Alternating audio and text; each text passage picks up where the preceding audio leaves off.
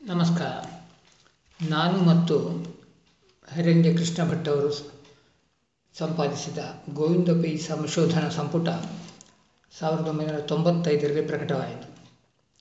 ಗೋವಿಂದ ಪೈ ಸಂಶೋಧನಾ ಸಂಪುಟದ ಸಂಪಾದಕೀಯವನ್ನು ನಾನು ಇಲ್ಲಿ ವಾಚಿಸುತ್ತಿದ್ದೇನೆ. ಎಂ ಗೋವಿಂದ ಪೈಯವರ ವೇಳೆ ಆಪರ್ಚುನಿಟಿ ಎಂಬ ಕವನದ ನಾಲ್ಕು ಸಾಲುಗಳು ಇವು. ನಾನೊಂದೇ ಸಲ ಬರುವೆ, ಕದ ತಟ್ಟಿ ನೀನೊಳಗೆ ಇಲ್ಲದಿರೆ ತೊಲಗಿದಪೆ. ಮತ್ತೆ ನಾ ಮರಳೆ ಎಂಬವರು ಅರಿಯರೆನ್ನ. ನಿನ್ನ ಬಾಗಿಲಿಯ, ಬಾಗಿಲ ಬಳಿಗೆ ಬಂದು ದಿನ ದಿನ ನಿನ್ನ ನೆಚ್ಚರಿಪೆ ಮರುಳೆ ಎಂ ಗೋವಿಂದ ಪೈಗಳು, ಸಾವಿರದ ಎಂಟುನೂರ ಎಂಬತ್ತ ಮೂರು ಸಾವಿರದ ಒಂಬೈನೂರ ಅರವತ್ತ ಮೂರು ದಿವಂಗತರಾಗಿ ಮೂವತ್ತೊಂದು ವರ್ಷಗಳ ಅನಂತರ ಅವರ ಸಂಶೋಧನಾ ಸಂಪುಟವನ್ನು ಪ್ರಕಟಿಸುವ ಅವಕಾಶ, ವೇಳೆ ಆಪರ್ಚುನಿಟಿ ಉಡುಪಿಯ ರಾಷ್ಟ್ರಕವಿ ಗೋವಿಂದ ಪೈ ಸಂಶೋಧನಾ ಕೇಂದ್ರಕ್ಕೆ ಪ್ರಾಪ್ತವಾಗಿದೆ. ಈ ಸುಯೋಗವನ್ನು ಒದಗಿಸಿರುವ ಮೈಸೂರಿನ ಕಾವ್ಯಾಲಯದ ಶ್ರೀ ಸಿ ಕೆ ಕೆ ಮೂರ್ತಿಯವರನ್ನು ಸಾವಿರಾರು ಕನ್ನಡ ಸಹೃದಯರು, ಇತಿಹಾಸ, ಸಾಹಿತ್ಯ ಕ್ಷೇತ್ರಗಳ ಸಂಶೋಧನಾ ಕುತೂಹಲಿಗಳು ಕೊಂಡಾಡುತ್ತಾರೆ. ಗೋವಿಂದ ಪೈಗಳ ಕೃತಿಗಳ ಕಾಪಿರೈಟನ್ನು ಪಡೆದಿರುವ ಕಾವ್ಯ, ಕಾವ್ಯಾಲಯದವರು ಪೈಗಳ ನಿಧನಾನಂತರ ಅವರ ಹಲವು ಕವನ ಸಂಕಲನ, ನಾಟಕ, ಕಾವ್ಯಗಳನ್ನು ಪ್ರಕಟಿಸಿದರು. ಆದರೆ ಪೈಗಳ ಸಂಪ್ರಬಂಧಗಳ ಪ್ರಕಟಣೆ ಅನಿವಾರ್ಯ ಕಾರಣಗಳಿಂದ ಸಾಧ್ಯವಾಗಲಿಲ್ಲ. ಕನ್ನಡದಲ್ಲಿ ಹಲವರು ಸಂಶೋಧಕರ Adinatha, Neminatha Upadhye D L Narasimhachar Shivarama Karanth ಸಿಡಿಯಾಬ Krishna Bhatta doctor M Chidanandamurthy, doctor M M Kalburgi ಇವರ ಸಂಪ್ರಬಂಧಗಳ ಸಂಕಲನಗಳು ಇತ್ತೀಚೆಗೆ ಪ್ರಕಟವಾಗಿವೆ.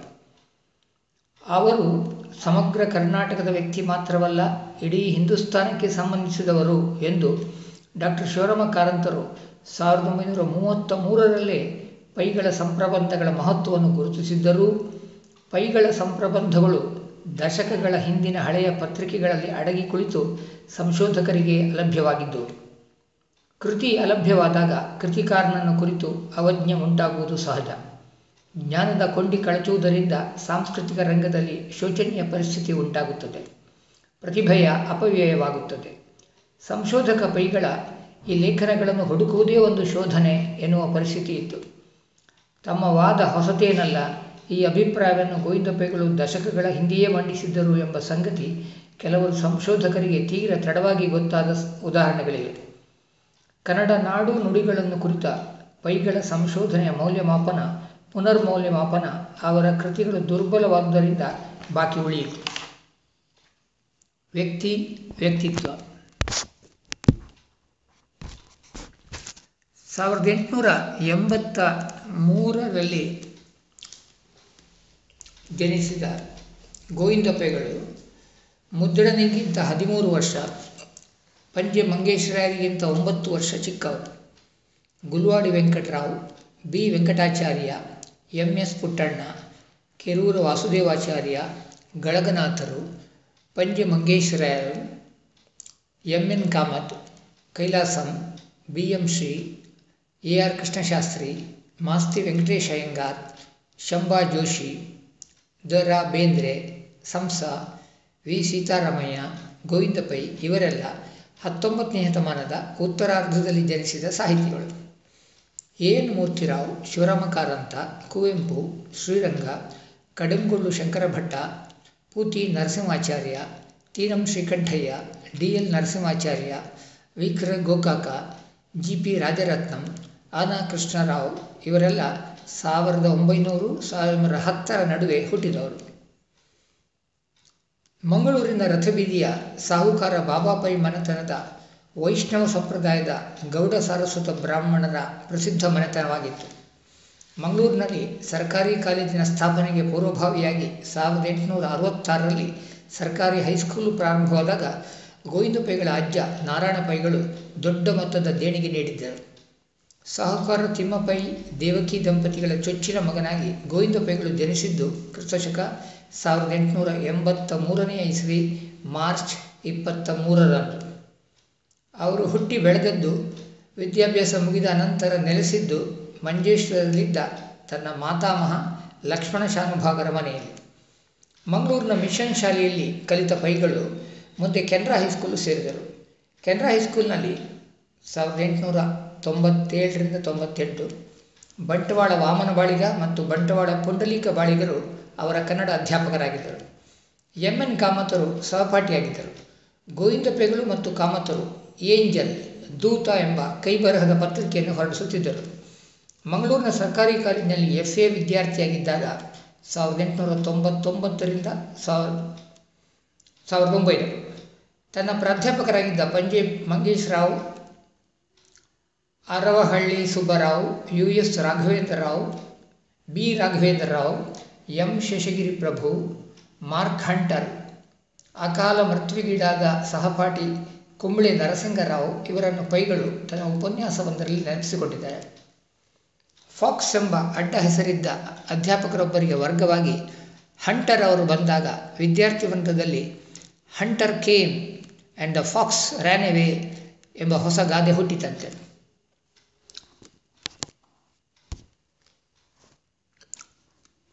ಯಕ್ಷಗಾನ ಪ್ರದರ್ಶನಗಳು, ಸಾಂಗಲಿಯ ಮರಾಠಿ ನಾಟಕ ಮಂಡಳಿಯ ನಾಟಕಗಳು, ಬಾಸೆಲ್ ಮಿಷನ್ನ ಹಳೆಗನ್ನಡ ವ್ಯಾಕರಣ ಸೂತ್ರಗಳು, ಸಾವಿರದ ಎಂಟುನೂರ ಎಂಬತ್ತೊಂಬತ್ತು ಎಂಬ ಪುಸ್ತಕ, ಸುವಾಸಿನಿ ಪತ್ರಿಕೆ, ಇವು ಬಾಲ್ಯದಲ್ಲಿ ಗೋವಿಂದ ಪೈಗಳ ಸಾಹಿತ್ಯ ಸೃಷ್ಟಿಗೆ ಪ್ರೇರಣೆ ನೀಡಿದವು ಗೋವಿಂದ ಪೈಗಳು ತನ್ನ ಹದಿನೇಳನೆಯ ವರ್ಷದಲ್ಲಿ ಸಾವಿರದ ಒಂಬೈನೂರು ಸುವಾಸಿನಿ ಪತ್ರಿಕೆಯನ್ನು ಕುರಿತು ಬರೆದ ಮೂರು ಕಂದ ಪದ್ಯಗಳ ಕವನಕ್ಕೆ, ಆ ಪತ್ರಿಕೆ ಐದು ರೂಪಾಯಿ ಬಹುಮಾನ ನೀಡಿತು.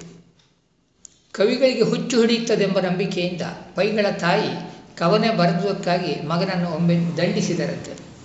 ಗೋವಿಂದ ಪೆಗಳು ವೃತ್ತ ಕಂದಗಳಲ್ಲಿ ಭಾಷಾಂತರಿಸಿದ ಶೇಕ್ಸ್ಪಿಯರ್ನ ಟ್ವೆಲ್ತ್ ನೈಟ್ ನಾಟಕದ ಕೆಲವು ದೃಶ್ಯಗಳನ್ನು ಓದಿದ ಮುದ್ದಣ, ನಂದಳಿಕೆ ಲಕ್ಷ್ಮೀನಾರಾಯಣಪ್ಪ ಅದನ್ನು ಮುಂದುವರಿಸಲು ಪೈಗಳಿಗೆ ಸಲಹೆ ನೀಡಿದ್ದರು.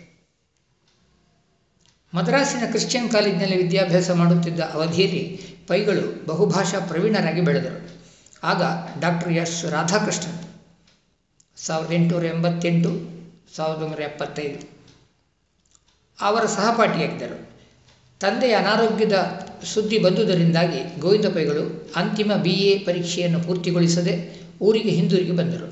ಅವರು ಉತ್ತರಿಸಿದ ಇಂಗ್ಲಿಷ್ ಭಾಷಾ ವಿಷಯದಲ್ಲಿ ವಿಶ್ವವಿದ್ಯಾನಿಲಯದ ಮೊದಲ ಸ್ಥಾನ ಬಂಗಾರದ ಪದಕ ಪಡೆದರು.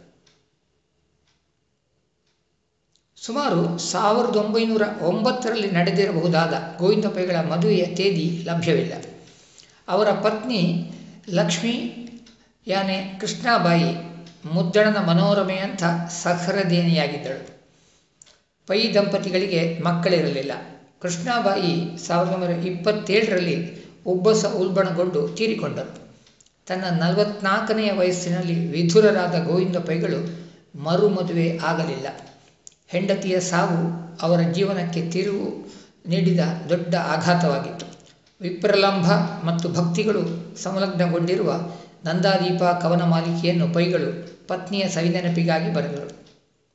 ನಾನು ಹೆಚ್ಚಾಗಿ ಹಾಡುವುದು ನೊಂದಾಗ ಎಂದ ಪೈಗಳ ಕಾವ್ಯದ ಒಂದು ಮುಖ್ಯ ವಸ್ತು ಸಾವು. ಆಗರ್ಭ ಶ್ರೀಮಂತರಾಗಿದ್ದ ಗೋವಿಂದ ಪೈಗಳು ಯಾವ ಉದ್ಯೋಗಕ್ಕೂ ಸೇರಲಿಲ್ಲ. ಸಾವಿರದ ಒಂಬೈನೂರ ಐವತ್ತರ ದಶಕದಲ್ಲಿ ರೂಪಾಯಿ ಸಾವಿರದ ಐನೂರು ಭೂಕಂದಾಯ ಕಟ್ಟುತ್ತಿದ್ದ ಪೈಗಳನ್ನು ಸರಕಾರ ಗೌರವ ನ್ಯಾಯಾಧೀಶರಾಗಿ ನೇಮಿಸಿತು ಸರಸ್ವತಿಯ ಜತೆಯಲ್ಲಿ ಲಕ್ಷ್ಮಿಯನ್ನು ಒಲಿಸಿಕೊಂಡಿದ್ದ ಅವರಿಗೆ ತನ್ನ ಅಧ್ಯಯನ ಸಂಶೋಧನೆಗಳಿಗಾಗಿ ಸಾವಿರಾರು ಗ್ರಂಥಗಳನ್ನು ಕೊಂಡುಕೊಳ್ಳುವುದು ಕಷ್ಟವಾಗಲಿಲ್ಲ. ಪೈಗಳು ತನ್ನ ಯೌವನದಲ್ಲಿ ಬರೋಡಾ ಸಂಸ್ಥಾನದ ನೌಸಾರಿಯಲ್ಲಿ ಅರವಿಂದ ಘೋಷರ ಪ್ರೇರಣೆಯಿಂದ ಸ್ಥಾಪನೆಗೊಂಡಿದ್ದ ರಾಷ್ಟ್ರೀಯ ಶಿಕ್ಷಣ ಸಂಸ್ಥೆಯನ್ನು ಸೇರಲೆಂದು ಹೋಗಿದ್ದರು. ಪತ್ನಿ ಅನಾರೋಗ್ಯದ ಸುದ್ದಿ ಬಂದುದರಿಂದ ಅವರು ಊರಿಗೆ ಹಿಂದಿರುಗಿದರು. ಈ ಭೇಟಿಯಿಂದಾಗಿ ಅವರಿಗೆ ಕಾಕಾ ಕಾಲೇಲ್ಕರ್ ಸಾವಿರದ ಎಂಟುನೂರ ಎಂಬತ್ತೇಳು ಅವರ ಸ್ನೇಹ ಲಾಭವಾಯಿತು.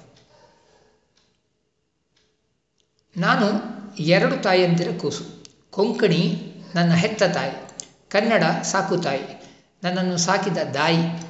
ಎನ್ನುತ್ತಿದ್ದ ಗೋವಿಂದ ಪೈಗಳು ಸಾವಿರದ ಒಂಬೈನೂರ ಇಪ್ಪತ್ತೈದರಲ್ಲಿ ಎರಡು ಕೊಂಕಣಿ ಲೇಖನಗಳನ್ನು ಬರೆದರು. ಆಗ ಕೊಂಕಣಿ ಪತ್ರಿಕೋದ್ಯಮ ಬೆಳೆದಿರಲಿಲ್ಲ. ಆದ್ದರಿಂದ ಅವರ ಕೊಂಕಣಿ ಬರವಣಿಗೆಗೆ ಉತ್ತೇಜನ ಸಿಗಲಿಲ್ಲ. ಸಾವಿರದ ಒಂಬೈನೂರ ಹನ್ನೊಂದರಲ್ಲಿ ಆದಿಪ್ರಾಸ ಕೈಬಿಟ್ಟು ಬರೆದ ಹೊಲೆಯನು ಯಾರು ಮತ್ತಿತರ ಕವನಗಳಿಂದ ಗೋವಿಂದ ಪೈಗಳು ವಿವಾದಗ್ರಸ್ತ ಕವಿಯಾಗಿ ಪ್ರಸಿದ್ಧರಾದರು.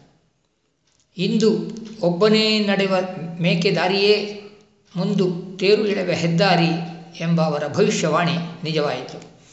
ಸಾವಿರದ ಒಂಬೈನೂರ ಇಪ್ಪತ್ತೇಳರಲ್ಲಿ ತನ್ನ ಹೆಂಡತಿಯ ಅಗಲಿಕೆಯ ನಂತರ ಅಂತರಂಗದಲ್ಲಿ ಒಂಟಿಯಾದ ಪೈಗಳು ಸಂಶೋಧನಾ ಕ್ಷೇತ್ರದಲ್ಲಿ ತಲ್ಲೀನರಾದರು. ಅವರ ಅಭಿಮಾನಿ ಕವಿಮಿತ್ರ ಪಾಂಡೇಶ್ವರ ಗಣಪತಿರಾಯರು ಪಂಡಿತ ವಕ್ಕಿ ಎಂಬ ಕವನ ಬರೆದು ಕಾವ್ಯ ಸೃಷ್ಟಿಯನ್ನು ಅಲಕ್ಷಿಸಬಾರದೆಂದು ಗೋವಿಂದ ಪೈಗಳನ್ನು ವಿನಂತಿಸಿದರು. ಪೈಗಳು ತನ್ನ ಹೆಚ್ಚಿನ ಸಂಪ್ರಬಂಧಗಳನ್ನು ಜನಸಾಮಾನ್ಯರಿಗೆ ಸುಲಭಗ್ರಾಹ್ಯವಾಗಿದ್ದ ವಾರ, ಮಾಸ ಪತ್ರಿಕೆಗಳಲ್ಲಿ ಪ್ರಕಟಿಸಿದರು. ತನ್ನ ಸಂಶೋಧನಾ ಬರಹಗಳ ಪುಸ್ತಕ ಪ್ರಕಟಣೆಯ ಕುರಿತು ಅವರು ಅನಾಸಕ್ತರಾಗಿದ್ದರು. ಅವರು ಬದುಕಿದ್ದಾಗ ಅವರ ಸಂಪ್ರಬಂಧಗಳ ಒಂದು ಚಿಕ್ಕ ಸಂಕಲನ, ಮೂರು ಉಪನ್ಯಾಸಗಳು, ಸಾವಿರದ ಒಂಬೈನೂರ ನಲವತ್ತು. ಮಾತ್ರ ಪ್ರಕಟವಾಯಿತು. ಸಾವಿರದ ಒಂಬೈನೂರ ಅರವತ್ತೊಂದರ ಜುಲೈ ಹನ್ನೊಂದರಂದು ಪೈಗಳು ತನ್ನ ಬರಹಗಳ ಕೃತಿಸ್ವಾಮ್ಯವನ್ನು ಮೈಸೂರಿನ ಕಾವ್ಯಾಲಯದ ಕೂಡಲಿ ಚಿದಂಬರಂ ಅವರಿಗೆ ನೀಡಿದರು. ಸಾವಿರದ ಒಂಬೈನೂರ ನಲವತ್ತೇಳರ ರಾಷ್ಟ್ರ ವಿಭಜನೆ ಮತ್ತು ಸಾವಿರದ ಒಂಬೈನೂರ ಐವತ್ತಾರರ ದಕ್ಷಿಣ ಕನ್ನಡ ಜಿಲ್ಲೆಯ ವಿಭಜನೆ ಕಾಸರಗೋಡು ತಾಲೂಕು ಕೇರಳ ರಾಜ್ಯಕ್ಕೆ ಸೇರಿದ್ದು. ಇವುಗಳಿಂದ ಗೋವಿಂದ ಪೈಗಳು ಭಾವೋದ್ರಿಕ್ತರಾದರು. ಸಾವಿರದ ಒಂಬೈನೂರ ಅರವತ್ತ್ಮೂರರಲ್ಲಿ ಮೈಸೂರು ವಿಶ್ವವಿದ್ಯಾನಿಲಯ ನೀಡಿದ ಗೌರವ ಡಾಕ್ಟರೇಟನ್ನು ಪೈಗಳು ತಿರಸ್ಕರಿಸಿದರು. ಕಾಸರಗೋಡು ಕೇರಳಕ್ಕೆ ಸೇರಲು ಕಾರಣರಾದ ಕೆ ಎಂ ಪಣಿಕ್ಕರ್ ಆಗ ಮೈಸೂರು ವಿಶ್ವವಿದ್ಯಾನಿಲಯದ ಉಪಕುಲಪತಿಗಳಾಗಿದ್ದುದು ಪೈಗಳ ಈ ನಿರ್ಧಾರದ ಹಿಂದಿನ ಪ್ರಚ್ಛನ್ನ ಕಾರಣವಾಗಿತ್ತಂತೆ. ಮದ್ರಾಸು ಸರ್ಕಾರ ಸಾವಿರದ ಒಂಬೈನೂರ ನಲವತ್ತೊಂಬತ್ತರಲ್ಲಿ ಗೋವಿಂದ ಪೈಗಳಿಗೆ ರಾಷ್ಟ್ರಕವಿ ಬಿರುದನ್ನಿತ್ತು ಗೌರವಿಸಿತು. ಸಾವಿರದ ಒಂಬೈನೂರ ಐವತ್ತರಲ್ಲಿ ಪೈಗಳು ಮುಂಬಯಿಯಲ್ಲಿ ಜರುಗಿದ ಕನ್ನಡ ಸಾಹಿತ್ಯ ಸಮ್ಮೇಳನದ ಅಧ್ಯಕ್ಷತೆ ವಹಿಸಿದರು. ಗೋವಿಂದ ಪೈಗಳ ಸಂಪ್ರಬಂಧ ಸೃಷ್ಟಿ ಸಾವಿರದ ಒಂಬೈನೂರ ಐವತ್ತೊಂಬತ್ತು, ಆಗ ಅವರ ವಯಸ್ಸು ಎಪ್ಪತ್ತಾರು. ಐವತ್ತೊಂಬತ್ತರ ಅನಂತರ ಕಡಿಮೆಯಾಯಿತು. ಸಾವಿರದ ಒಂಬೈನೂರ ಅರವತ್ತು, ಅರವತ್ತೆರಡರ ನಡುವೆ ಅವರು ಪರಿಷ್ಕರಿಸಿದ ಮಂಜೇಶ್ವರ ದೇವಸ್ಥಾನ ಅವರ ಕೊನೆಯ ಸಂಶೋಧನಾ ಲೇಖನವಾಯಿತು. ಮೂರು ಹತ್ತು ಸಾವಿರದ ಒಂಬೈನೂರ ಅರವತ್ತೆರಡರಂದು ಬರೆದ ಪತ್ರವೊಂದರಲ್ಲಿ, ನನ್ನ ವಯಸ್ಸಿನ ಎಂಬತ್ತನೆಯ ವರ್ಷದಲ್ಲಿದ್ದೇನೆ. ಅದಾಗಿ ಯಾವುದನ್ನಾದರೂ ಹೊಸತನ್ನು ಓದಿ ನೋಡಬೇಕೆಂಬ ಇಷ್ಟವೂ ಇಲ್ಲ, ಓದುವ ತಾಳ್ಮೆಯೂ ಇಲ್ಲ ಎಂದು ಐದು ಒಂದು ಸಾವಿರದ ಒಂಬೈನೂರ ಅರವತ್ತ್ಮೂರರಂದು ಬರೆದ ಪತ್ರದಲ್ಲಿ ಒಂದೆರಡು ವರ್ಷಗಳಿಂದ ಹೊಸ ಗದ್ಯವನ್ನಾಗಲಿ ಪದ್ಯವನ್ನಾಗಲಿ ಬರೆದಿಲ್ಲ ಎಂದು ಅವರು ಬರೆದಿದ್ದಾರೆ. ಸಾವಿರದ ಒಂಬೈನೂರ ಅರವತ್ತ್ಮೂರರ ಸೆಪ್ಟೆಂಬರ್ನಲ್ಲಿ ಜ್ವರದಿಂದ ಬಳಲುತ್ತಿದ್ದ ಪೈಗಳಿಗೆ ಮಂಗಳೂರಿನ ವೆಲ್ಲಾಕ್ ಆಸ್ಪತ್ರೆಯಲ್ಲಿ ಚಿಕಿತ್ಸೆ ನೀಡಲಾಯಿತು. ಗೋವಿಂದ ಪೈಗಳು ಸೆಪ್ಟೆಂಬರ್ ಆರು, ಸಾವಿರದ ಒಂಬೈನೂರ ಅರವತ್ತ ಮೂರರಂದು ಶುಕ್ರವಾರ ಬೆಳಿಗ್ಗೆ ಒಂಬತ್ತು ಹತ್ತಕ್ಕೆ ಮಂಗಳೂರಿನ ತನ್ನ ತಮ್ಮನ ಮಗ ತುಕಾರಾಮ ಪೈಗಳ ಮನೆಯಲ್ಲಿ ನಿಧನರಾದರು. ವ್ಯಕ್ತಿತ್ವ. ಬೇಂದ್ರೆಯವರು ಗೋವಿಂದ ಪೈಗಳನ್ನು ಕುರಿತ ತನ್ನ ಸಾನೆಟ್ನಲ್ಲಿ, ಕಲ್ಲು ಕಾಗದ ಕಡತಗಳಲ್ಲಿ ಕಾಲನ ಕಾಲು ಸಿಕ್ಕು ತೊಳಲಾಡುವಲಿ ಕುಣಿಕೆ ಬಿಡಿಸಿದಿರಣ್ಣ. ಹರಸದಿರಿ, ಹರಸಿದಿರಿ ತರುಣರನು ಆ ಅಸೂಯೇ ದಗ್ಧ, ನೀವು ಕಾಲಜ್ಞಾನಿ, ಮುಗ್ಧ ಅಕ್ಕರಿಗ ವಿದಗ್ಧ ಎಂದಿದ್ದಾರೆ. ಅವರೇ ತಾವೊಂದು ಗೊಮ್ಮಟ ಸಮ ಮಹಾಕಾವ್ಯ ಎಂದಿದ್ದಾರೆ ಕುವೆಂಪು. ಸಂಶೋಧಕ ಕವಿ ಬನ್ನಂಜೆ ಗೋವಿಂದಾಚಾರ್ಯರಿಗೆ ಹಳೆಯ ಕಾಲದ ಮನೆಯ ಪೈಗಳು, ಅಲ್ಲಿ ಕಾಲಿಟ್ಟವರ ಬಗೆ ತುಂಬ ಹೊಸತನದ ಬೆಳಕು ತುಂಬುವ ಮಗುವಿನಂಥದೇ ನಗುವಿನ ಬೆಳ್ಳಿ ಮೀಸೆಯ ಮಗುವಾಗಿ ಕಂಡರು. ನಿಟ್ಟೂರು ಶ್ರೀನಿವಾಸರಾಯರು ಬಣ್ಣಿಸುವ ಗೋವಿಂದ ಪೈಗಳ ವ್ಯಕ್ತಿ ಚಿತ್ರ ಹೀಗಿದೆ. ಕೋಟು ಖಂಡ ತುಂಡವಾದ ಅವರ ಮಾತಿನಂತೆಯೇ, ಮನಸ್ಸಿನಂತೆಯೇ ಅವರ ಆಕೃತಿ. ಆ ನೆರೆತ ಬೆಳ್ಳಿ ಮೀಸೆ, ಆ ಸಿಂಹದಂಥ ರೂಪ, ತುಂಡು ತೋಳಿನ ಜುಬ್ಬ ಅಥವಾ ಬನಿಯನ್, ಉದ್ದ ದಟ್ಟಿ, ಕೆಲವೇಳೆ ಛತ್ರಿ, ಮಂಗಳೂರು ಚಪ್ಪಲಿ ಇಷ್ಟೇ ಅವರ ಪೋಷಾಕು. ಏತಕ್ಕಾದರೂ ಬೆರಳು ಕೊಡವುತ್ತಾ, ಮೀಸೆ ಕಡಿಯುತ್ತಾ ಬೀಡಿ ಸೇದುತ್ತಾ, ಅದು ಯಾವುದೋ ವಿಚಾರವನ್ನು ಹೊರಗೆಡಹುತ್ತಾ ಇದ್ದಾಗ ಅವರನ್ನು ನೋಡುವುದು ಒಂದು ಹಬ್ಬವಾಗುತ್ತಿತ್ತು. ಮನಸ್ಸು ಮಾತು ನಡತೆಗಳಲ್ಲಿ ಅಂತರವಿಲ್ಲದ ಹಿರಿಮೆ ಅವರದು. ಎಲ್ಲಕ್ಕಿಂತ ವಿಶಿಷ್ಟವಾದುದು ಅವರ ವ್ಯಕ್ತಿಗುಣ. ಆ ಸರಸ ಸಂಭಾಷಣೆ, ಆ ವಿಶ್ವಾಸ, ಆ ಗೆಳೆತನ, ಆ ನಗು, ಆ ಮಗುವಿನಂಥ ಮನಸ್ಸು ನಮಗೆ ಇನ್ನೆಲ್ಲಿ ದೊರೆತಾವು? ಎಂದಿದ್ದಾರೆ ನಿಟ್ಟೂರು ಶ್ರೀನಿವಾಸರಾಯರು. ಅತಿಥಿ ಸತ್ಕಾರಕ್ಕೆ ಪ್ರಸಿದ್ಧರಾಗಿದ್ದ ಗೋವಿಂದ ಪೈಗಳ ಬಗ್ಗೆ ದಂತಕಥೆಗಳು ಹುಟ್ಟಿ ಬೆಳೆದಿವೆ ಗೋವಿಂದ ಪೈ ಸಹೋದರರ ಆತ್ಮೀಯ ಉಪಚಾರವನ್ನು, ಗಡದ್ದಾದ ಊಟ ಉಪ, ಉಪಾಹಾರಗಳನ್ನು, ಮಂಜೇಶ್ವರದ ಕಡಲ ದಂಡೆಯಲ್ಲಿ ಪಟ್ಟಾಂಗ ಹೊಡೆದುದನ್ನು ಶಿವರಾಮ ಕಾರಂತ ಮಸ್ತಿ ಜಿ ಪಿ ರಾಜರತ್ನಂ ದ ಬಾ ಕುಲಕರ್ಣಿ, ಶ್ರೀನಿವಾಸ ಹಾವನೂರ ಮತ್ತಿತರ ಲೇಖಕರು ತಮ್ಮ ಬರಹಗಳಲ್ಲಿ ನಡೆಸಿಕೊಂಡಿದ್ದಾರೆ ನಾನು ಹದಿನೆಂಟು ವರ್ಷ ಬಿಡಿ, ಹದಿನೆಂಟು ವರ್ಷ ಸಿಗರೇಟ್, ಮತ್ತೆ ಸುಮಾರಾಗಿ ಹದಿನೆಂಟು ವರ್ಷ ಬಿಡಿ. ಹೀಗೆ ಐವತ್ನಾಲ್ಕು ವರ್ಷ ಹೊಗೆ ಕುಡಿದಿದ್ದೇನೆ ಎನ್ನುವ ಬೈಗಳ ವಿವರಣೆಯನ್ನು ದೋಬಾ ಕುಲಕರ್ಣಿ ದಾಖಲಿಸಿದ್ದಾರೆ.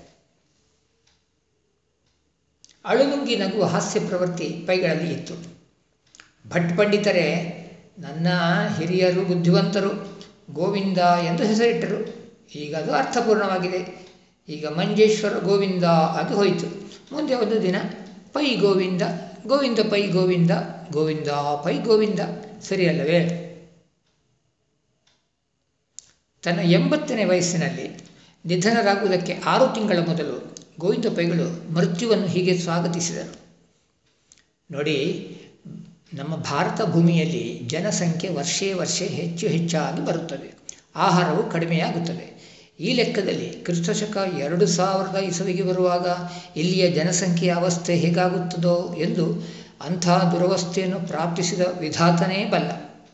ಆದ ಕಾರಣ ನಮ್ಮಂಥ ಎಂಬತ್ತು ವರ್ಷದವರು, ನನಗೂ ಹೆಚ್ಚಿಗೆ ಪ್ರಾಯದವರು ಇಲ್ಲಿಂದ ಹೊರಟು ಹೋಗದಿದ್ದರೆ ಮುಂದಣ ಮಂದಿಗೆ ಇಲ್ಲಿ ಸ್ಥಳವೆಲ್ಲಿ? ಇಲ್ಲಿ ತಿಂಡಿಯಲ್ಲಿ? ಅದಾಗಿ ನನ್ನ ಮನಪೂರ್ವಕವಾದ ಯೋಜನೆ ಎಂದರೆ ಇಲ್ಲಿಂದ ಎಕ್ಸಿಸ್ಟ್ ಆಗಬೇಕು ಆಗಬೇಕೆಂದು. ಎಕ್ಸಿಸ್ಟ್ ಅಂದರೆ ಇಂಗ್ಲಿಷ್ ನಾಟಕಗಳಲ್ಲಿ ಹೊರಟು ಹೋಗುತ್ತಾನೆ ಎಂದು ಅರ್ಥ. ಶಿವರಾಮ ಕಾರಂತರು ಸಾವಿರದ ಒಂಬೈನೂರ ಮೂವತ್ತ್ಮೂರು, ಸಾವಿರದ ಒಂಬೈನೂರ ಎಂಬತ್ತ ಮೂರರ ಅವಧಿಯಲ್ಲಿ ಗೋವಿಂದ ಪೈಗಳನ್ನು ಕುರಿತು ಆರು ಲೇಖನಗಳನ್ನು ಬರೆದಿದ್ದಾರೆ. ಪೈಗಳ ಸಂಪ್ರಬಂಧಗಳ ಕ್ಲಿಷ್ಟತೆ, ರಾಜಕೀಯ ನಿಲುವು, ಶ್ರೀಮಂತಿಕೆ, ಬಹುಭಾಷಾ ವ್ಯಾಸಂಗ, ಪುಸ್ತಕ ಸಂಗ್ರಹಗಳ ಕುರಿತು ಬರೆದಿರುವ ಕಾರಂತರು ಅವರ ನಿರ್ದಾಕ್ಷಿಣ್ಯ ವಿಮರ್ಶೆಯನ್ನು ಮೆಚ್ಚಿಕೊಂಡಿದ್ದಾರೆ. ಸಂಶೋಧನಾ ಜಿಜ್ಞಾಸೆ ಅಭಿಪ್ರಾಯ ಭೇದಗಳಿಗಾಗಿ ಪೈಗಳು ಸ್ನೇಹಿತರನ್ನು ದೂರ ಮಾಡಲಿಲ್ಲ. ತನ್ನ ಸ್ವಂತ ಕೃತಿಗಳನ್ನು ಕುರಿತ ವಿಮರ್ಶೆಯಲ್ಲಿ ಪೈಗಳ ದೊಡ್ಡತನ ಕಾಣಿಸುತ್ತದೆ. ನಾನು ಕವಿಯೇ ಅಹುದೋ ಅಲ್ಲವೋ ಎಂಬುದು ಭವಿಷ್ಯಕ್ಕೆ ಬಿಟ್ಟ ಪ್ರಶ್ನೆ. ಎಂದಿದ್ದಾರೆ ಅವರು? ತನ್ನ ಗಿಳಿವಿಡು ಗಿಳಿವಿಂಡು ಸಂಕಲನವನ್ನು ಕುರಿತು ಅವರು. ಗಿಳಿವಿಂಡಿನಲ್ಲಿರುವ ಕೆಲವು ಮೂರನೆಯ ತರಗತಿಯ ಥರ್ಡ್ ರೇಟ್ ಕವನಗಳನ್ನು ತೆಗೆದು ಹೊಸ ಕೆಲವನ್ನು ಸೇರಿಸಿ ಅದೇ ಹೆಸರನ್ನು ಇಲ್ಲವೇ ಬೇರೊಂದನ್ನಿಟ್ಟು ಸದ್ಯದಲ್ಲಿ ಪ್ರಕಟಿಸಬೇಕೆಂದು ಯೋಚಿಸಿದ್ದೇನೆ ಎಂದಿದ್ದಾರೆ. ಜಗತ್ತಿನ ಹಲವು ಪ್ರಮುಖ ಭಾಷೆಗಳ ಗ್ರಂಥಗಳಿಂದ ಕೂಡಿದ ನಾಡಿನ ಅಪೂರ್ವ ಖಾಸಗಿ ಗ್ರಂಥ ಭಂಡಾರ ಗೋವಿಂದ ಪೈಗಳಲ್ಲಿತ್ತು. ಪೈಗಳ ಮನೆಗೆ ಭೇಟಿ ಇದ್ದ ನಾಟಕಕಾರ ಶ್ರೀರಂಗರಿಗೆ ಪುಸ್ತಕಗಳಿಂದಲೇ ಗೋಡೆಯನ್ನು ನಿರ್ಮಿಸಿದ್ದಾರೇನೋ ಅನಿಸಿತು. ಉಳ್ಳವರ ವರ್ಗಕ್ಕೆ ಸೇರಿದ್ದ ಪೈಗಳು ಬಡವರ ಕಷ್ಟಗಳಿಗೆ ಸ್ಪಂದಿಸುತ್ತಿದ್ದ ದಾನಶೂರರಾಗಿದ್ದರು. ಮಕ್ಕಳ ಕಥೆಗಳ ಮಾಯಾಲೋಕಕ್ಕೆ ಕರೆದೊಯ್ಯುವುದು ಅವರಿಗೆ ತುಂಬ ಇಷ್ಟದ ಕೆಲಸವಾಗಿತ್ತು. ಇದುವರೆಗೆ ಪ್ರಕಟವಾಗಿರುವ ಗೋವಿಂದ ಪೈಗಳ ಮೂರು ಪತ್ರ ಸಂಕಲನಗಳಲ್ಲಿ ಪೈಗಳ ನೂರ ಎಪ್ಪತ್ತೇಳು ಪತ್ರಗಳು ಪ್ರಕಟಗೊಂಡಿವೆ. ಶಿವರಾಮ ಕಾರಂತ ದಾಮೋದರ ಬಾಳಿಗ, ಮಾಸ್ತಿ, ಬೈಕಾಡಿ ವೆಂಕಟಕೃಷ್ಣರಾಯ, ಕೆ ವೆಂಕಟರಾಯಾಚಾರ್ ವಿಜಯನಾಥ ಶಣೆ, ಕುಶಿ ಹರಿದಾಸ ಭಟ್ಟ, ಅಮ್ಮೆಂಬಳ ಶಂಕರನಾರಾಯಣ ನಾವಡ ಮತ್ತಿತರರಿಗೆ ಬರೆದ ಈ ಪತ್ರಗಳಲ್ಲಿ ಅವರ ವ್ಯಕ್ತಿತ್ವದ ವಿವಿಧ ಮುಖಗಳು ಕಾಣಸಿಗುತ್ತವೆ. ಈ ಪತ್ರಗಳು ಪೈಗಳ ಪ್ರಾಮಾಣಿಕತೆ, ವಿನಯ, ಪರೋಪಕಾರ, ಸ್ಮೃತಿಶಕ್ತಿ ಸಂಶೋಧನೆಯ ಒಳನೋಟ, ಮುಪ್ಪಿನ ಕಷ್ಟಗಳು ಇವನ್ನೆಲ್ಲ ವಿವರಿಸುತ್ತವೆ.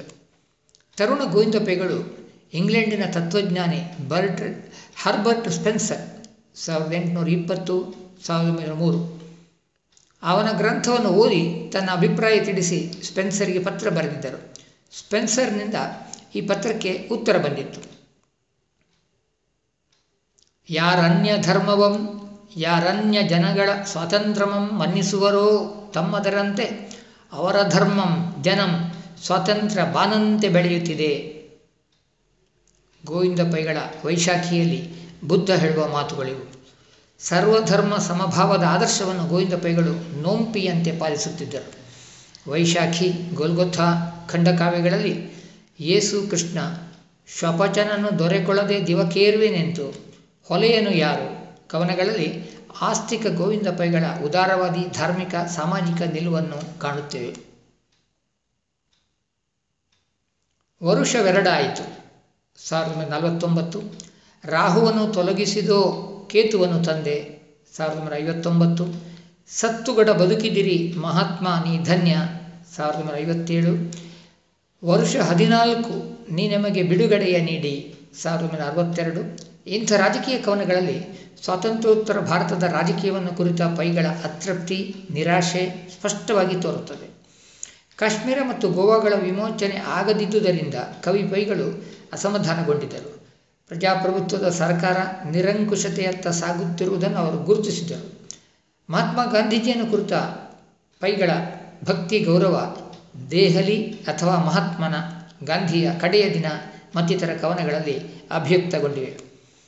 ಗೋವಿಂದ ಪೈಗಳು ಆರ್ ಎಸ್ ಎಸ್ ಮನೋಧರ್ಮ ಉಳ್ಳವರಾಗಿದ್ದರು ಎಂದು ಶಿವರಾಮ ಕಾರಂತರು ಅಭಿಪ್ರಾಯಪಟ್ಟಿದ್ದಾರೆ. ರಾಷ್ಟ್ರ ವಿಭಜನೆಯ ಸಂದರ್ಭದಲ್ಲಿ ಪೈಗಳು ಭಾವೋದ್ರಿಕ್ತರಾಗಿದ್ದರು. ವಿಭಜನೆಯನ್ನು ಖಂಡಿಸುತ್ತಿದ್ದರು. ಆದರೆ ಅವರು ಆರ್ ಎಸ್ ಎಸ್ ವೈಚಾರಿಕತೆಯನ್ನು ಮೀರಿ ನಿಂತ ಕವಿಯಾಗಿದ್ದರು ಎಂಬುದನ್ನು ಸಮರ್ಥಿಸುವ ಆಂತರಿಕ ಸಾಕ್ಷ್ಯಗಳು ಅವರ ಅವರ ಬರಹಗಳಲ್ಲಿ ಸಿಗುತ್ತವೆ. ಕಾರಂತರೇ ಹೇಳಿರುವಂತೆ ಪೈಗಳು ಕಾಸ್ಮೋಪಾಲಿಟನ್ ವಿಶ್ವ ಪ್ರಜೆಯಾಗಿದ್ದ ಕವಿಯಾಗಿದ್ದರು.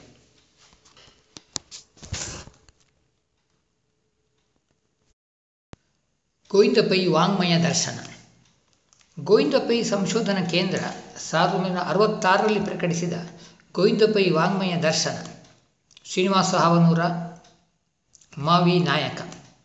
ಹೊಸಗನ್ನಡ ಸಾಹಿತ್ಯದ ಅಪೂರ್ವ ಪ್ರಕಟಣೆಗಳಲ್ಲೊಂದು. ಪೈಗಳ ಬರಹಗಳ ಪಟ್ಟಿಯ ಜತೆಯಲ್ಲಿ ಅವುಗಳ ವಸ್ತು ಪರಿಚಯವನ್ನು ನೀಡಿರುವುದು ಈ ಗ್ರಂಥದ ವೈಶಿಷ್ಟ್ಯ. ಗೋವಿಂದ ಪೈ ವಾಂಗ್ಮಯ ದರ್ಶನ ಪೈಗಳ ಮುನ್ನೂರು ಮೂವತ್ತಾರು ಬರಹಗಳನ್ನು, ಪುಸ್ತಕಗಳು, ಇತಿಹಾಸ ಸಂಶೋಧನೆ, ಇಂಗ್ಲಿಷ್ ಬರಹಗಳು, ಧರ್ಮ ತತ್ವಜ್ಞಾನ, ಹಳಗನ್ನಡ, ಕವಿ ಕಾವ್ಯ, ಹೊಸಗನ್ನಡ, ನಾಟಕ ಸಾಹಿತ್ಯ, ಕವಿತೆಗಳು ಉಲ್ಲೇಖಿಸುತ್ತದೆ.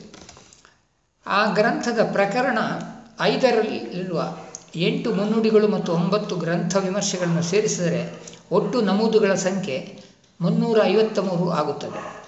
ಡಾಕ್ಟರ್ ಎಂ ಚಿದಾನಂದಮೂರ್ತಿಯವರು ಹೇಳಿರುವಂತೆ ಸಂಶೋಧನಾ ವಿದ್ಯಾರ್ಥಿಗಳಿಗೆ ಇದೊಂದು ಉತ್ಕೃಷ್ಟ ಕೈಪಿಡಿ ಇದ್ದಂತೆ. ಈ ಗ್ರಂಥದ ಉದ್ದೇಶ ರೀತಿಗಳು ಕನ್ನಡಕ್ಕೆ ಹೊಸವು. ವಿಷಯ ಸಂಗ್ರಹಣೆಯಲ್ಲಿ ಶ್ರದ್ಧೆ, ಅವುಗಳನ್ನು ಕೊಡುವಲ್ಲಿ ಶಾಸ್ತ್ರೀಯವಾದ ಕ್ರಮ, ಅಪಾರ ಶ್ರಮ, ಇವು ಈ ಗ್ರಂಥದ ವೈಶಿಷ್ಟ್ಯಗಳು. ಗೋವಿಂದ ಪೈಯವರ ಅಧ್ಯಯನಕ್ಕೆ ಇದು ಒಂದು ವಿಶಿಷ್ಟ ಕಾಣಿಕೆ. ಗೋವಿಂದ ಪೈಗಳನ್ನು ಕುರಿತು ಮೂರು ಗ್ರಂಥಗಳನ್ನು ಬರೆದಿರುವ ಕೈಯಾರ ಕಿಂಜಣ್ಣ ರೈಗಳು ಪೈಗಳ ಕೃತಿಗಳನ್ನು ಸಹೃದಯರಿಗೆ ಚೆನ್ನಾಗಿ ಪರಿಚಯಿಸಿದ್ದಾರೆ. ಗೋವಿಂದ ಪೈಗಳ ಶತಮಾನೋತ್ಸವದ ಸಂದರ್ಭದಲ್ಲಿ ಸಾವಿರದ ಒಂಬೈನೂರ ಎಂಬತ್ತ್ಮೂರು, ಮಂಗಳೂರು, ಮೈಸೂರು, ಕರ್ನಾಟಕ ವಿಶ್ವವಿದ್ಯಾನಿಲಯಗಳು, ಕರ್ನಾಟಕ ಸಾಹಿತ್ಯ ಅಕಾಡೆಮಿ ಮತ್ತು ಕೇಂದ್ರ ಸಾಹಿತ್ಯ ಅಕಾಡೆಮಿಗಳು ಪೈಗಳ ಕುರಿತು ಗ್ರಂಥಗಳನ್ನು ಪ್ರಕಟಿಸಿದವು. ಮಣಿಪಾಲದ ತರಂಗ ವಾರಪತ್ರಿಕೆ ಸಂಪಾದಕರು ಸಂತೋಷ್ ಕುಮಾರ್ ಗುರುವಾಡಿ ವಿಶೇಷ ಸಂಚಿಕೆಯೊಂದನ್ನು ಪ್ರಕಟಿಸಿತು. ಪೈಗಳ ಕೃತಿಗಳ ಕುರಿತು ಪ್ರಕಟವಾಗಿರುವ ಒಂದೇ ಒಂದು ಸಂಶೋಧನಾ ಗ್ರಂಥ, ಎಸ್. ಶಂಕರನ ನಾರಾಯಣ ಭಟ್ಟರ ಗೋವಿಂದ ಪೈಯವರ ಛಂದೋಗತಿ, ಸಾವಿರದ ಒಂಬೈನೂರ ಎಂಬತ್ತು.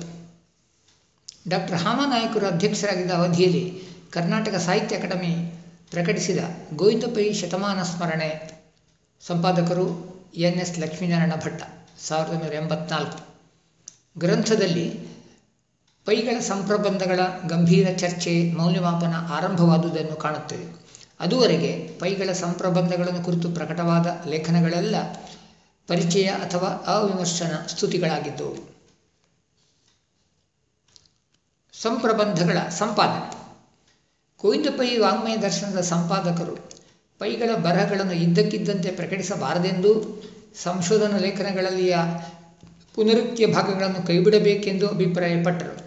ಆ ಪುಸ್ತಕವನ್ನು ವಿಮರ್ಶಿಸುತ್ತಾ ಡಾಕ್ಟರ್ ಎಂ. ಚಿದಾನಂದಮೂರ್ತಿಯವರು ಆದರೆ ನಮಗನ್ನಿಸುವುದೇನೆಂದರೆ ಪೈಯವರ ಎಲ್ಲ ಬರಗಳು ಒಂದು ಕ್ರಮದಲ್ಲಿ, ಅವು ಇರುವ ರೀತಿಯಲ್ಲೇ ಪ್ರಕಟವಾಗುವುದು ಒಳ್ಳೆಯದು. ಸಾರವತ್ತಾದುದು ಯಾವುದು ಎಂಬುದನ್ನು ಓದುಗರೇ ನಿರ್ಣಯಿಸಿಕೊಳ್ಳುತ್ತಾರೆ, ಎಂದರು. ತನ್ನ ಲೇಖನಗಳಿಗೆ ಕತ್ತರಿ ಪ್ರಯೋಗ ಮಾಡುವುದನ್ನು, ಓದುಗರ ದಾರಿ ದಿಕ್ಕು ತಪ್ಪಿಸಬಹುದಾದ ಮುದ್ರಣ ದೋಷಗಳನ್ನು ಗೋವಿಂದಪ್ಪೆಗಳು ಸಹಿಸುತ್ತಿರಲಿಲ್ಲ.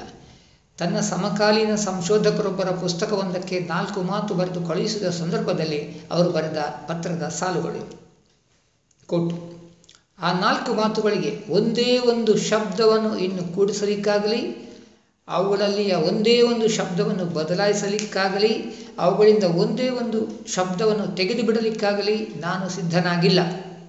ಇದನ್ನು ಚೆನ್ನಾಗಿ ನೆನವರಿಕೆಯಲ್ಲಿ ಇರಿಸಿಕೊಳ್ಳಬೇಕೆಂದು ವಿನಂತಿಸುತ್ತೇನೆ. ಅದಕ್ಕೆ ಒಪ್ಪುವಿರಾದರೆ ಮಾತ್ರ ಈ ನಾಲ್ಕು ಸಾಲುಗಳನ್ನು ಸ್ವೀಕರಿಸಿರಿ. ಇಲ್ಲವಾದರೆ ಅವನ್ನು ಆದ್ಯಂತವಾಗಿ ಬಿಟ್ಟುಬಿಡಿ, ಈ ಮಾತುಗಳನ್ನು ಮರೆಯಬೇಡಿ ಅಂದ್ಕೊಂಡು ಈ ಸಂಪುಟದಲ್ಲಿ ನಾವು ಪೈಗಳ ಸಂಪ್ರಬಂಧಗಳಿಗೆ ಕತ್ತರಿ ಪ್ರಯೋಗ ಮಾಡಿಲ್ಲ. ಪೈಗಳು ಒಂದೇ ವಿಷಯವನ್ನು ಕುರಿತು ಕೆಲವು ವರ್ಷಗಳ ಅಂತರದಲ್ಲಿ ಬರೆದ ಎರಡು ಸಂಪ್ರಬಂಧಗಳಲ್ಲಿ ಅಲ್ಪ ಸ್ವಲ್ಪ ವ್ಯತ್ಯಾಸ ಮಾತ್ರ ಇದ್ದ ಸಂದರ್ಭದಲ್ಲೂ ಆ ಎರಡೂ ಸಂಪ್ರಬಂಧಗಳನ್ನು ಪ್ರಕಟಿಸಿದೆ. ಉದಾಹರಣೆಗೆ, ರತ್ನಾಕರ ವರ್ಣೀಯ ಕಾಲ ವಿಚಾರ, ಸಾವಿರದ ಒಂಬೈನೂರ ನಲವತ್ತ ಮೂರು ಮತ್ತು ರತ್ನಾಕರ ಸಿದ್ಧನ ಕಾಲ ನಿರ್ಣಯ, ಸಾವಿರದ ಒಂಬೈನೂರ ಐವತ್ತೆರಡು. ಒಂದೇ ವಿಷಯವನ್ನು ಕುರಿತ ಎರಡು ಲೇಖನಗಳಲ್ಲಿ ಶೀರ್ಷಿಕೆಯ ವ್ಯತ್ಯಾಸ ಮಾತ್ರ ಇರುವುದು ಕಂಡುಬಂದಾಗ ಅವುಗಳಲ್ಲಿ ಒಂದು ಲೇಖನವನ್ನು ಕೈಬಿಟ್ಟು ಟಿಪ್ಪಣಿಯಲ್ಲಿ ಉಲ್ಲೇಖಿಸಿದೆ. ಉದಾಹರಣೆಗೆ, ಮುದ್ದಣ ನಂದಕ್ಕೆ ಲಕ್ಷ್ಮೀನಾರಾಯಣ. ಶಾಲಾ ವಿದ್ಯಾರ್ಥಿಗಳಿಗಾಗಿ ಬರೆದ ಲೇಖನವೊಂದರ ಎರಡು ಪಾಠಗಳಲ್ಲಿ ಒಂದು ಇನ್ನೊಂದರ ವಿಸ್ತೃತ ರೂಪ ಎಂದು ಕಂಡು ಬಂದಾಗ ವಿಸ್ತೃತ ರೂಪವನ್ನು ಉಳಿಸಿಕೊಂಡು ಹಳೆಯ ಲೇಖನವನ್ನು ಕೈಬಿಟ್ಟಿದ್ದೇವೆ. ಉದಾಹರಣೆ, ಅಶೋಕ ಸಾಮ್ರಾಟ್ನ ಧರ್ಮಲೇಖಗಳು. ಮಹಾಭಾರತ ತಾತ್ಪರ್ಯ ನಿರ್ಣಯ ಎಂಬ ಅಪೂರ್ವ ಸಂಶೋಧನಾ ಗ್ರಂಥವೊಂದು, ಒಂದನ್ನು ಬರೆದಿರುವ ಆಚಾರ್ಯ ಮಧ್ವರು, ಕ್ರಿಸ್ತಶಕ ಹದಿಮೂರನೇ ಶತಮಾನ. ಸಂಪಾದಕರ ಚತುರ್ಮುಖ ದೋಷಗಳನ್ನು ಉಲ್ಲೇಖಿಸುತ್ತಾರೆ. ಒಂದು, ಇಲ್ಲದ ಭಾಗಗಳನ್ನು ಸೇರಿಸುವುದು. ಎರಡು, ಇದ್ದದ್ದನ್ನು ತೆಗೆದುಹಾಕುವುದು. ಮೂರು, ಗ್ರಂಥದ ಆನುಪೂರ್ವಿಯನ್ನು ಬದಲಿಸುವುದು. ನಾಲ್ಕು, ಪ್ರತಿಕಾರನ ಪ್ರಮಾದದಿಂದ ಘಟಿಸುವ ತಪ್ಪುಗಳು. ಇಲ್ಲಿನ ಮೊದಲ ಮೂರು ತಪ್ಪುಗಳನ್ನು ನಾವು ಖಂಡಿತ ಮಾಡಿಲ್ಲ. ಆದರೆ ಗೋವಿಂದಪ್ಪೆಗಳ ಪ್ರಕಟಿತ ಲೇಖನಗಳಲ್ಲಿದ್ದ ಕೆಲವು ತಪ್ಪುಗಳು, ಅವು ತಪ್ಪು ಪ್ರಯೋಗಗಳೋ ಅಥವಾ ಗೋವಿಂದಪ್ಪೆಗಳ ಹೊಸ ಪ್ರಯೋಗಗಳೋ ಎಂಬುದು ಸುಲಭದಲ್ಲಿ ಗೊತ್ತಾಗದಿದ್ದಾಗ ಇಲ್ಲಿ ಉಳಿದಿರುವ ಸಾಧ್ಯತೆಗಳಿವೆ. ಗೋವಿಂದಪ್ಪೆಗಳು ತನ್ನ ಲೇಖನದ ಮುದ್ರಿತ ಪ್ರತಿಯಲ್ಲಿ ಮುದ್ರಣ ದೋಷಗಳನ್ನು ಗುರುತಿಸಿ ತಿದ್ದುಪಡಿ ಬರೆದಿಡುತ್ತಿದ್ದರು.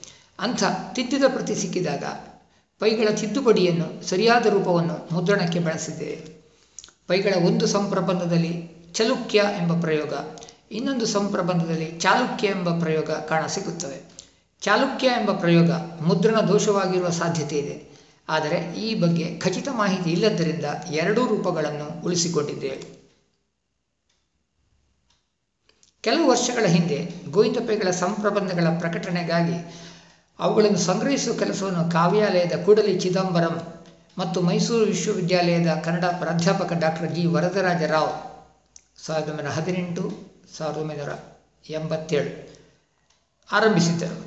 ಈ ಗ್ರಂಥದ ಪ್ರಕಟಣೆಯ ಸಂದರ್ಭದಲ್ಲಿ ನಮಗೆ ಮೈಸೂರಿನ ಕಾವ್ಯಾಲಯದಿಂದ ಬಂದ ಕಡತದಲ್ಲಿ ಪೈಗಳ ಕೆಲವು ಅಲಭ್ಯ ಮುದ್ರಿತ ಲೇಖನಗಳ ಪ್ರತಿಗಳು ಬೇರೆಯವರ ಕೈ ಬರಹದಲ್ಲಿ ಸಿಕ್ಕಿದವು. ಜೆರಾಕ್ಸ್ ಪ್ರತಿ ಸೌಲಭ್ಯ ಇಲ್ಲದಿದ್ದಾಗ ತನ್ನ ಮಿತ್ರರು ಮತ್ತು ಪೂರ್ವ ವಿದ್ಯಾರ್ಥಿಗಳಿಂದ ಡಾಕ್ಟರ್ ಕೈ ಕೈಬರಹದ ಪ್ರತಿಗಳನ್ನು ತರಿಸಿದರು. ವರ್ಗೀಕರಣ. ಗೋವಿಂದ ಪೈ ವಾಂಗ್ಮಯ ದರ್ಶನದ ಸಂಪಾದಕರು ಪೈಗಳ ಸಮಗ್ರ ಸಾಹಿತ್ಯವನ್ನು ಒಂದು ಕಾವ್ಯ, ಎರಡು ನಾಟಕ, ಮೂರು ಕನ್ನಡ ಸಾಹಿತ್ಯ ಚರಿತ್ರೆ, ನಾಲ್ಕು ಹಳಗನ್ನಡ ಕವಿಕಾವ್ಯ ವಿಚಾರ, ಐದು ತುಳುನಾಡ ಚರಿತ್ರೆ, ಆರು ಕನ್ನಡ ನಾಡಿನ ಪೂರ್ವ ಇತಿಹಾಸ, ಏಳು ಪ್ರಾಚೀನ ಭಾರತ ಇತಿಹಾಸ, ಎಂಟು ಧಾರ್ಮಿಕ ಇತಿಹಾಸ ಎಂದು ವರ್ಗೀಕರಿಸಿದರು. ಡಾಕ್ಟರ್ ಮೂರ್ತಿಯವರು ಭಾಷೆ ಸಾಹಿತ್ಯಗಳನ್ನು ಕುರಿತ ಪೈಗಳ ಸಂಪ್ರಬಂಧಗಳನ್ನು, ಒಂದು ಕವಿಕಾಲ ವಿಚಾರ, ಎರಡು ಮತವಿಚಾರ ಮೂರು ಕರ್ತೃತ್ವ ನಾಲ್ಕು ಪ್ರಾಚೀನತೆಯ ವಿಚಾರ, ಐದು ದೇಶ ವಿಚಾರ, ಆರು ತೌಲನಿಕ ಮತ್ತು ಏಳು ಇತರ ಎಂದು ವರ್ಗೀಕರಿಸಬಹುದೆಂದು ಸೂಚಿಸಿದ್ದಾರೆ. ಈ ಸಂಪುಟದ ಹಳಗನ್ನಡ, ನಡುಗನ್ನಡ ವಿಭಾಗದ ಸಮೀಕ್ಷೆ ಬರೆದಿರುವ ಡಾಕ್ಟರ್ ಎಂ ಎಂ ಕಲಬುರ್ಗಿಯವರು ಆ ವಿಭಾಗದಲ್ಲಿರುವ ಸಂಪ್ರಬಂಧಗಳನ್ನು ಕಾಲನಿರ್ಣಯ ದೇಶ ನಿರ್ಣಯ, ಮತ ನಿರ್ಣಯ, ಕವಿಕತಿ ವಿಷಯ ನಿರ್ಣಯ, ಪಾಠ ನಿರ್ಣಯ, ಶಾಸ್ತ್ರ ವಿಷಯ ನಿರ್ಣಯ, ವಿಮರ್ಶೆ ರೂಪದ ಲೇಖಗಳು ಎಂದು ವರ್ಗೀಕರಿಸಿದ್ದಾರೆ.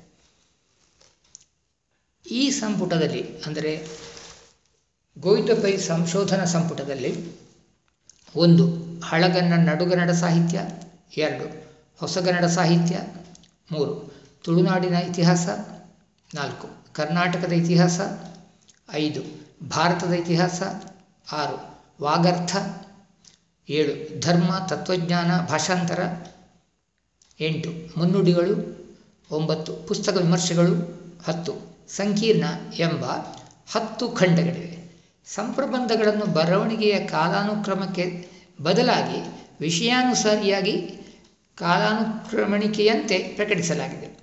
ಪಂಪ, ಪೊನ್ನ, ರನ್ನ, ನಾಗವರ್ಮ, ದುರ್ಗಸಿಂಹ, ನಾಗಚಂದ್ರ ಹೀಗೆ ಸಾಹಿತ್ಯ ಚರಿತ್ರೆಯಲ್ಲಿನ ಕವಿಗಳ ಜ್ಯೇಷ್ಠತಾ ಪಟ್ಟಿಗೆ ಅನುಗುಣವಾಗಿ ಸಂಪ್ರಬಂಧಗಳನ್ನು ಜೋಡಿಸಿದೆ.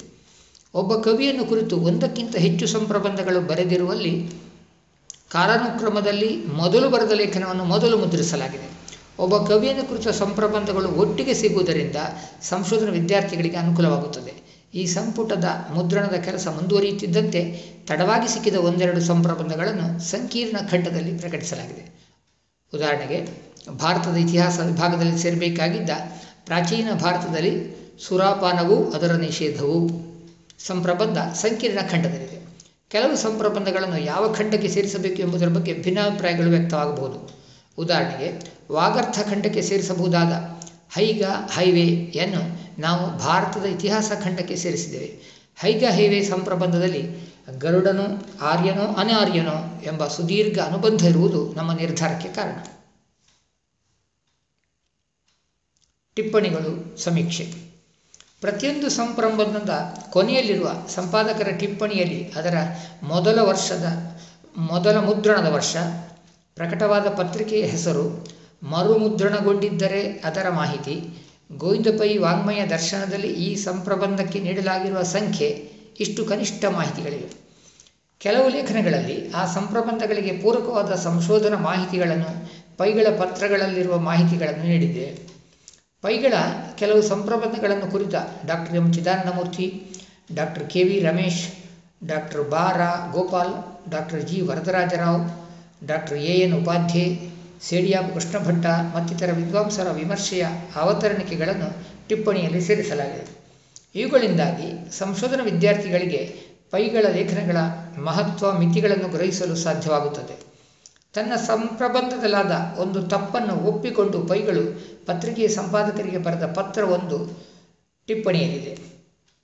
ಮಧ್ವಾಚಾರ್ಯರ ಕಾಲನಿರ್ಣಯ ಪೈಗಳ ಮಹತ್ವದ ಸಂಪ್ರಬಂಧಗಳನ್ನೊಂದು ಮಧ್ವಾಚಾರ್ಯರ ಸರ್ವಮೂಲ ಗ್ರಂಥಗಳ ಸಂಪಾದಕ, ಸಂಶೋಧಕ ಬನ್ನಂಜಿ ಗೋವಿಂದಾಚಾರ್ಯರು ನಮ್ಮ ವಿನಂತಿಯನ್ನು ಒಪ್ಪಿ ಈ ಸಂಪ್ರಬಂಧದ ಕುರಿತು ಬರೆದುಕೊಟ್ಟಿರುವ ಟಿಪ್ಪಣಿಯನ್ನು ಈ ಗ್ರಂಥದಲ್ಲಿ ಪ್ರಕಟಿಸಿದ್ದೇವೆ.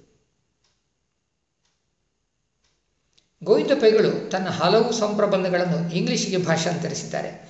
ಅವರು ಇಂಗ್ಲಿಷ್ನಲ್ಲಿ ಮಾತ್ರ ಬರೆದಿರುವ ಕನ್ನಡಕ್ಕೆ ಭಾಷಾಂತರಿಸದ ಹದಿನೆಂಟು ಸಂಪ್ರಬಂಧಗಳಿವೆ.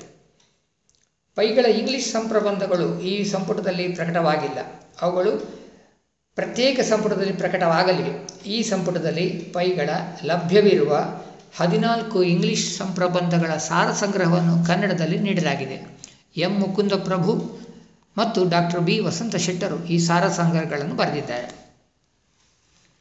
ಗೋವಿಂದ ಪೈಗಳ ಎರಡು ಕೊಂಕಣಿ ಲೇಖನಗಳು ಮತ್ತು ಒಂದು ಕೊಂಕಣಿ ಟಿಪ್ಪಣಿ ಈ ಗ್ರಂಥದ ಸಂಕೀರ್ಣ ಖಂಡದಲ್ಲಿವೆ. ಕೊಂಕಣಿಯಲ್ಲಿ ಮಾತ್ರ ಲಭ್ಯವಿರುವ ಮಾರ್ಗಶಿರ ಮಾಸು ಎಂಬ ಲೇಖನದ ಕನ್ನಡ ಸಾರ ಸಂಗ್ರಹವನ್ನು ನೀಡಿದ್ದೇವೆ ಕೆ ಎಂ ರಾಘವ ನಂಬಿಯಾರ್ ಅವರು ಈ ಸಾರ ಸಂಗ್ರಹವನ್ನು ಬರೆದಿದ್ದಾರೆ. ವಜ್ರಸೂಚಿ ಎಂಬ ತನ್ನ ಸಂಪ್ರಬಂಧದ ಅನುಬಂಧದಲ್ಲಿ ಪೈಗಳು ಅಶ್ವಘೋಷಣ ವಜ್ರಸೂಚಿ ಗ್ರಂಥದ ಸಂಸ್ಕೃತ ಪಾಠವನ್ನು ನೀಡಿದ್ದಾರೆ. ಬ್ರಾಹ್ಮಣ ಶಬ್ದಾರ್ಥದ ಜಿಜ್ಞಾಸೆ ಇರುವ ಈ ಮಹತ್ವದ ಕೃತಿಯ ಕನ್ನಡ ಭಾಷಾಂತರವನ್ನು ಸಪ್ತಮ ಖಂಡದ ಅನುಬಂಧದಲ್ಲಿ ನೀಡಿದ್ದೇವೆ. ನಿಟಿಲಾಪುರ ಕೃಷ್ಣಮೂರ್ತಿಯವರು ವಜ್ರಸೂಚಿಯನ್ನು ಕನ್ನಡಕ್ಕೆ ಭಾಷಾಂತರಿಸಿದ್ದಾರೆ. ಪೈಗಳ ಸಂಪ್ರಬಂಧಗಳ ಅಧ್ಯಯನಕ್ಕೆ ಉಪಯುಕ್ತವಾದ ಸಂಪ್ರಬಂಧಗಳ ಕಾಲಾನುಕ್ರಮ ಸೂಚಿ ವಿಷಯ ಸೂಚಿ ಮತ್ತು ಗೋಯ್ದಪೈ ವಾಂಗ್ಮಯ ಸಮೀಕ್ಷೆ ಸೂಚಿ ಈ ಗ್ರಂಥದ ಅನುಬಂಧದಲ್ಲಿವೆ. ಗೋಯ್ದಪೈಗಳು ತನ್ನ ವೈಶಾಖಿ, ಗೊಲ್ಗೊಥಾ ಕಾವ್ಯಗಳಿಗೆ ಬರೆದಿರುವ ಮುನ್ನುಡಿಗಳು ಸಂಪ್ರಬಂಧಗಳಂತಿವೆ.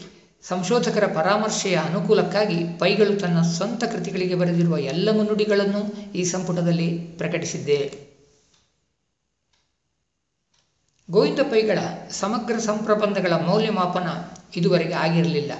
ಈ ಸಂಪುಟದ ವಿವಿಧ ಖಂಡಗಳ ಕೊನೆಯಲ್ಲಿ ಮೌಲ್ಯಮಾಪನ ಅಥವಾ ಪ್ರಸ್ತಾವನೆ ರೂಪದ ಸಮೀಕ್ಷೆಗಳಿವೆ. ಇಲ್ಲಿರುವ ಮೊದಲ ಎಂಟು ಖಂಡಗಳ ಕೊನೆಯಲ್ಲಿ doctor M. M. Kalburgi doctor Srinivasa Havanur doctor K. V. Ramesha doctor U. P. Upadhyaya Heranje Krishnabhatta, Muralidhara Upadhyaya Hiriyadka ಇವರು ಬರೆದ ಸಮೀಕ್ಷೆಗಳನ್ನು ಪ್ರಕಟಿಸಲಾಗಿದೆ. ಈ ಸಂಪುಟದ ಪ್ರಕಟಣೆ ಒಂದು ಕಾಲಬದ್ಧ ಯೋಜನೆ ಆದ್ದರಿಂದ ಸಮೀಕ್ಷೆಯನ್ನು ಬರೆದವರಿಗೆ ಸಾಕಷ್ಟು ಕಾಲಾವಕಾಶ ನೀಡಲು ಸಾಧ್ಯವಾಗಲಿಲ್ಲ. ಇಲ್ಲಿರುವ ಎಲ್ಲ ಸಮೀಕ್ಷೆಗಳ ಗುಣಮಟ್ಟ ಒಂದೇ ತೆರನಾಗಿಲ್ಲ. ಪೈಗಳ ಸಮಗ್ರ ಸಂಪ್ರಬಂಧಗಳ ಮೌಲ್ಯಮಾಪನವನ್ನು ಆರಂಭಿಸುವ ಪ್ರಯತ್ನವನ್ನಷ್ಟೇ ನಾವು ಮಾಡಿದ್ದೇವೆ. ಪುನರ್ವಿಮರ್ಶೆ, ಮೌಲ್ಯಮಾಪನ, ಸಮೂಹ ಶೋಧವಾಗಿ ಮುಂದುವರಿಯಬೇಕಾಗಿದೆ. ಈ ಸಂಪುಟವನ್ನು ನಾವು ಗೋವಿಂದ ಪೈಗಳ ಸಮಗ್ರ ಸಂಶೋಧನಾ ಸಂಪುಟ ಎಂದು ಕರೆ, ಹೆಸರಿಸಿಲ್ಲ. ಪೈಗಳ ಇಂಗ್ಲಿಷ್ ಸಂಪ್ರಬಂಧಗಳು ಈ ಸಂಪುಟದಲ್ಲಿ ಸೇರ್ಪಡೆಗೊಂಡಿಲ್ಲ. ಗೋವಿಂದ ಪೈ ವಾಂಗ್ಮಯ ದರ್ಶನ ಉಲ್ಲೇಖಿಸಿರುವ ಒಂದೆರಡು ಸಂಪ್ರಬಂಧಗಳು ಈ ಗ್ರಂಥದ ಪ್ರಕಟಣೆಯ ಸಂದರ್ಭದಲ್ಲಿ ಅಲಭ್ಯವಾಗಿವೆ. ಗೋವಿಂದ ಪೈ ವಾಂಗ್ಮಯ ದರ್ಶನದಲ್ಲಿ ಉಲ್ಲೇಖಗೊಳ್ಳದ ಹಲವು ಸಂಪ್ರಬಂಧಗಳನ್ನು, ಮುನ್ನುಡಿಗಳನ್ನು ನಾವು ಶೋಧಿಸಿದ್ದೇವೆ. ಆದರೆ ಇನ್ನೂ ಕೆಲವು ಸಂಪ್ರಬಂಧಗಳು ಹಳೆಯ ಪತ್ರಿಕೆಗಳಲ್ಲಿ ಅಡಗಿ ಕುಳಿತಿರುವ ಸಾಧ್ಯತೆ ಇದೆ. ಈಗ ಪುಸ್ತಕ ರೂಪದಲ್ಲಿ ಲಭ್ಯವಿರುವ ಪೈಗಳು ತನ್ನ ಯೌವನದಲ್ಲಿ ರಚಿಸಿದ ಭಾಷಾಂತರ ಕೃತಿ ಶ್ರೀಕೃಷ್ಣ ಚರಿತ್ರೆಯನ್ನು ಈ ಸಂಪುಟದಲ್ಲಿ ಸೇರಿಸಿಲ್ಲ.